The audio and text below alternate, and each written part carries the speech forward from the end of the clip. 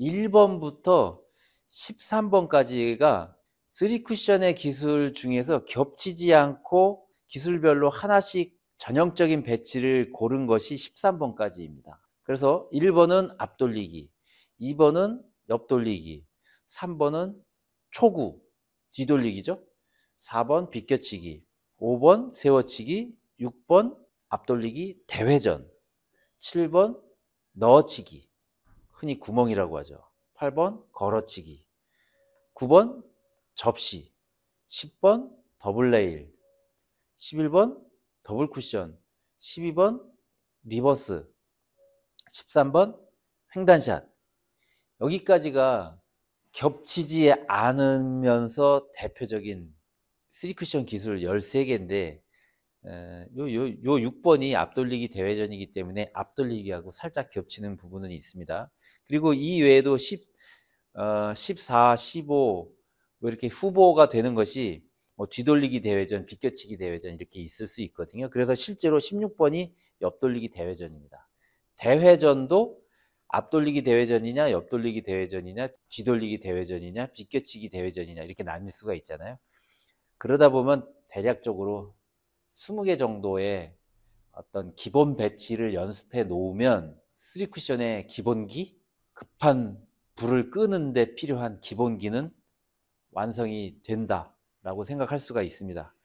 자, 그러면 이제 3쿠션의 기술을 이렇게 이름으로 나열을 했는데 실제로 어떤지 번호 순서대로 한번 쳐보겠습니다. 3쿠션의 기본 기술을 총 망라한 겁니다. 노란 공이 이렇게 있다고 하면 오른쪽 회전 주고 왼쪽 맞춰서 이렇게 뒤로 돌린다고 해서 뒤돌리기를 칠 수가 있는데 노란 공이 이렇게 있습니다. 이럴 때는 뒤로 돌리기를 치기가 어렵기 때문에 오른쪽을 맞춰서 시계 방향으로 돌리는데 이렇게 치는 걸 앞돌리기라고 합니다. 앞돌리기라는 것은 일본어에서 온 표현입니다. 그래서 이것을 다른 말로는 제각 돌리기라고도 합니다. 제각 돌리기에는 이러한 앞돌리기도 포함이 되고 세워치기도 포함이 될 수도 있고 옆돌리기도 포함이 될 수도 있습니다. 아무튼 이것을 회전 없이 노란 공 오른쪽 2분의 1 정도를 부드럽게 쳐서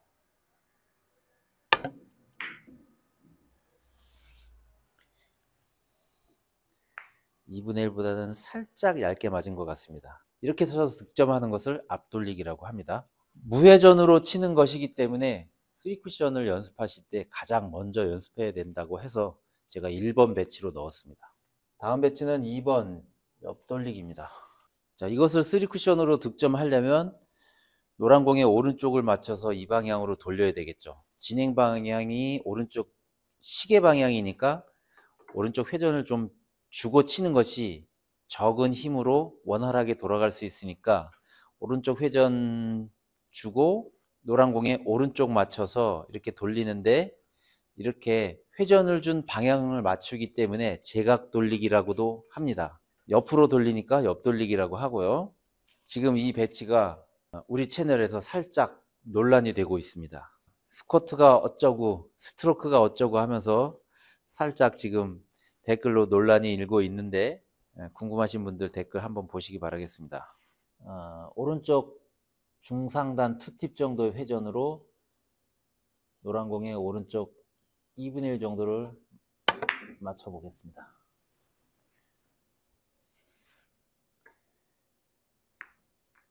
이렇게 득점하는 게 옆돌리기입니다. 세 번째 배치는 초구 배치입니다. 초구의 위치는 음, 당구대가 정사각형 두 개를 붙여놓은 직사각형인데 이쪽 정사각형의 중심에 빨간 공, 이쪽 정사각형의 중심에 노란 공, 그리고 내 공은 여기와 여기의 절반, 이것과 이것의 절반, 이 위치에 놓고 시작을 하는 것이 국제적인 룰인데요. 어, 참고로 초구 배치는 득점 확률이 그렇게 높진 않습니다. 저도 60%에서 70% 정도밖에 안 되는데 그만큼 연습을 좀 해야 되는 배치고요. 빨간 공의 왼쪽을 오른쪽 회전을 주고 맞춰서 이 방향으로 이렇게 돌릴 거거든요. 그래서 빨간 공의 뒤를 돌아온다 해서 뒤돌리기, 뒤로 돌려치기 뭐 이런 식으로 말하는데 이것 또한 일본어 표현을 번역한 것입니다. 자, 한번 쳐보겠습니다. 1시 반 방향 투팁 정도의 당점으로 빨간 공 왼쪽을 두텁게 쳐서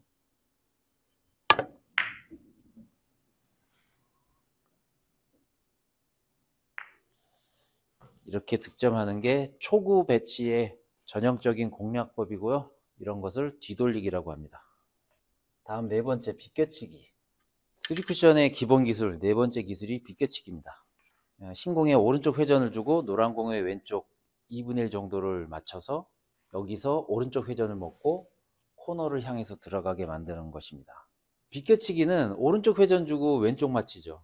뒤돌리기도 오른쪽 회전 주고 왼쪽 맞히고 즉, 즉 회전을 준 반대면을 맞히는데 비껴치기와 뒤돌리기가 어떻게 다르냐?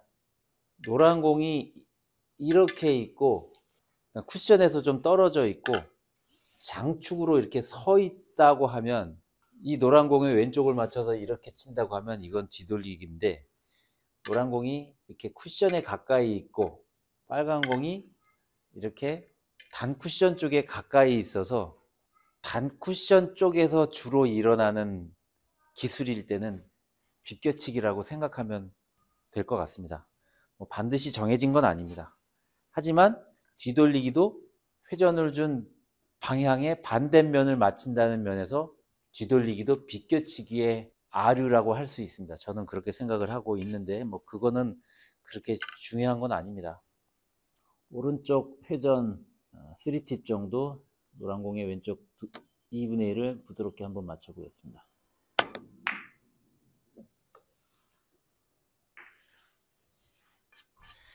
이렇게 득점하는 게 비껴치기고요. 다섯 번째 기술이 세워치기입니다.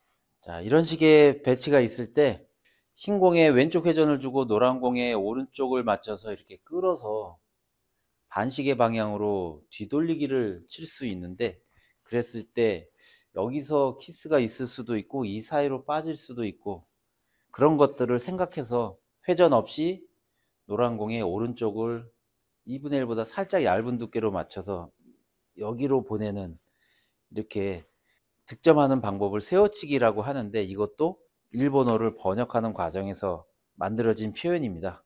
일본어를 그대로 번역한다면 세로치기가 맞습니다. 아무튼 자 회전 없이 어, 12시 방향 투팁 정도의 당점으로 무회전 당점으로 노란 공 오른쪽 2분의 1보다 조금 얇은 8분의 3 정도의 두께를 맞춰서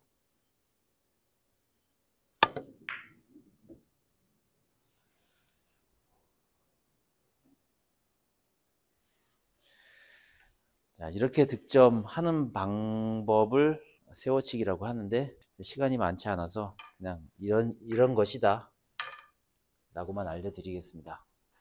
다음 기술은 대회전을 하나 소개를 하고 있는데요. 이 배치도 우리 채널에서 살짝 논란이 되고 있고 뜨거운 배치입니다. 자, 이것은 어, 회전 없이 노란 공의 오른쪽 4분의 1 정도 두께 또는 4분의 1보다 조금 두꺼워도 상관은 없는데 빨간 공이 여기에 있다면 3쿠션 기술 처음에 예를 든 앞돌리기죠. 그런데 빨간 공이 여기에 있기 때문에 앞돌리기 대회전이다. 크게 돌렸다. 자, 한번 쳐보겠습니다. 12시 방향 투팁 무회전으로 두께 4분의 1 정도를 맞춰보겠습니다.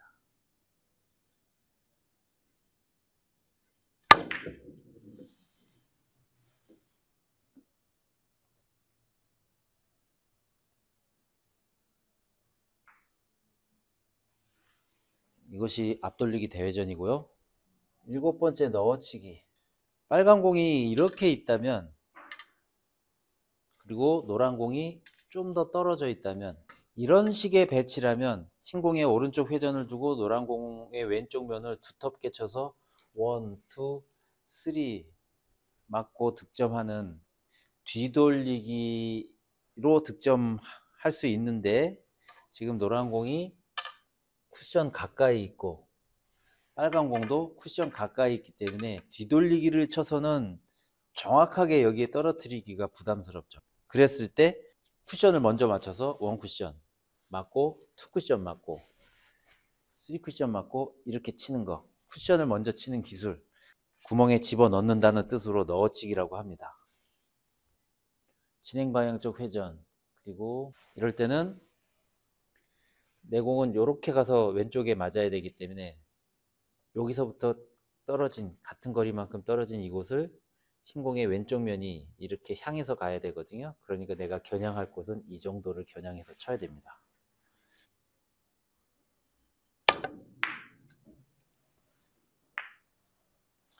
이게 넣어치기 기본이고요. 그 다음은 걸어치기인데요. 조금 전에 쳤던 넣어치기가 이 배치였는데 그 다음은 흰 공의 위치는 그대로고 노란 공이 이렇게 쿠션에 붙어 있고 빨간 공이 여기가 아니고 이렇게 이런 배치도 쿠션을 먼저 쳐서 노란 공의 오른쪽을 맞춰서 3쿠션으로 득점을 하는데 여기보다는 빨간 공이 여기에 있을 때 쉬운 배치입니다. 자, 진행 방향 쪽 오른쪽 회전 투팁 정도 노란 공의 오른쪽이 걸리도록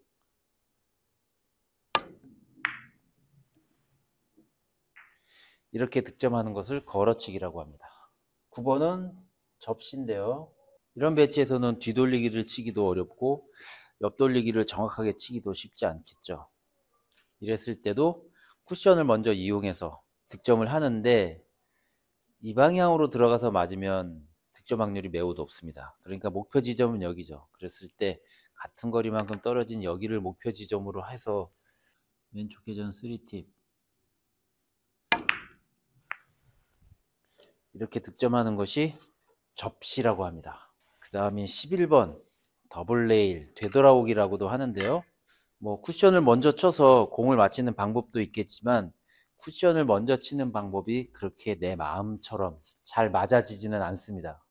그래서 공을 먼저 칠 수 있다면 그 방법이 조금 더 확률이 높다고 할 수 있는데 오른쪽 회전을 주고 노란 공의 왼쪽 면을 맞춰서 이렇게 보내면 one 쿠션, two 쿠션, 다시 이쪽 쿠션 맞고 득점이 됩니다. 이런 걸 되돌아오기 또는 더블 레일이라고 하는데요. 자, 오른쪽 회전 3팁 그리고 노란 공 왼쪽 면 4분의 1보다는 살짝 두꺼운 게 좋을 것 같은데요. 이렇게 치는 것을 더블 레일, 되돌아오기라고 합니다. 이게 10번입니다. 10번까지 오는 동안 중복된 기술이 거의 없었죠. 자, 11번. 11번은 더블 쿠션이라고 하는데요. 중복이 되지 않으면서 기본이 되는 배치를 하나씩 소개하고 있는데 지금 11번째 더블 쿠션입니다. 이런 더블 쿠션을 칠 때 가장 중요한 것은 회전을 사용하지 않을수록 두께가 안정적으로 맞는다는 거. 그런 생각으로 치시면 좋겠습니다. 그래서 이 배치도 마찬가지입니다. 어, 회전 없이 무회전으로 오른쪽 2분의 1 정도를 맞춰서 여기 맞고 one 쿠션 맞고 two 쿠션 그리고 three 쿠션 맞고 득점하는 경우입니다.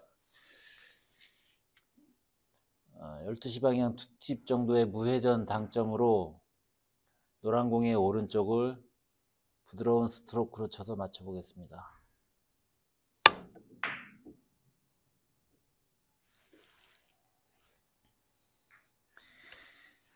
이런 방식으로 쳤을 때 노란 공이 이쪽에 오면서 다음 배치가 또 좋아질 수도 있는데 그런 의도를 가지고 어, 연습하는 전형적인 배치 중에 하나입니다. 그리고 안 맞았을 때 수비까지 고려할 수 있다. 이런 의도를 연습하는 어, 배치라고 할 수 있겠습니다. 왜 그러냐 하면 이 더블 쿠션 배치라는 것이 성공률이 어, 초급자분들이 그렇게 높지 않을 수 있습니다. 그렇기 때문에 안 맞으면 수비라도 한다. 이렇게 생각하는 게 승부의 세계에서 나쁜 겁니까?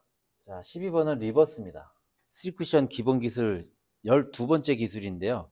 지금 이 동영상은 스리쿠션 기본 기술 중복되지 않는 기본 기술 13개 정도를 간단하게 이렇다라는 것을 소, 개해 드리는 것이고요. 각 배치도별로 자세한 해법은 각 배치도별로 상세 설명 동영상이 따로 있습니다. 그걸 보시면 좋겠습니다. 지금은 그냥 이렇게 득점하는 것을 reverse라고 한다. 라는 걸 알려드리는 동영상입니다. reverse라는 것은 영어를 들으면 아 역회전 줘서 치는 것이기 때문에 reverse라고 하는 거구나 라는 걸 알 수 있죠.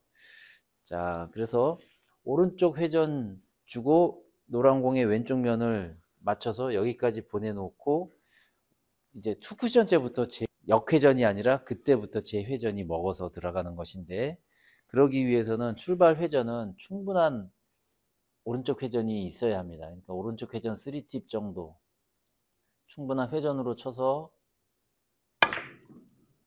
코너를 돌면 확률이 높겠죠. 이렇게 이런 공략법을 reverse라고 합니다. 자, 13번 횡단샷입니다. 11번째 더블 쿠션 배치가 빨간 공의 위- 위치가 이렇게 되어 있을 때였습니다. 쿠션에서 조금 떨어져 있을 때. 그런데 쿠션에 좀 더 가까이 붙어 있고 장쿠션에 중앙에 가까이 왔을 때. 이랬을 때는 물론 더블 쿠션으로 정확하게 치는 방법도 있겠지만 왔다 갔다 하는 걸 보고 횡단샷을 치는데 이 횡단샷을 칠 때도 무회전을 이용해서 잘 밀어치는 스트로크로 치는 거를 권장하는데 한번 쳐보겠습니다. 12시 방향 2팁 이상 그리고 노란 공의 오른쪽 2분의 1을 밀어치는 스트로크로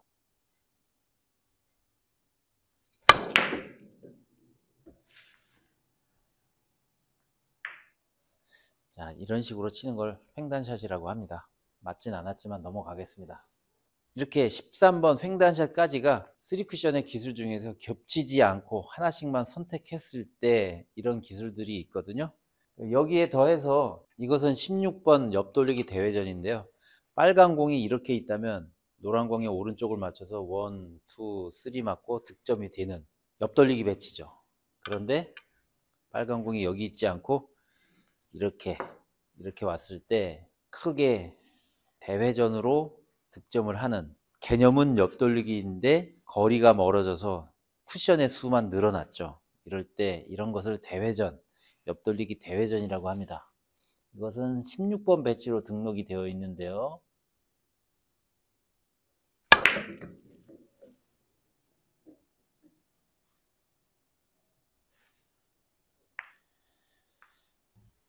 이런 것을 옆돌리기 대회전이라고 할 수 있고요. 아직 수록은 되어 있지 않지만 이런 배치가 있다면 오른쪽 회전 주고 노란 공의 왼쪽 면을 맞춰서 뒤돌리기로 쳐서 대회전을 칠 수가 있습니다.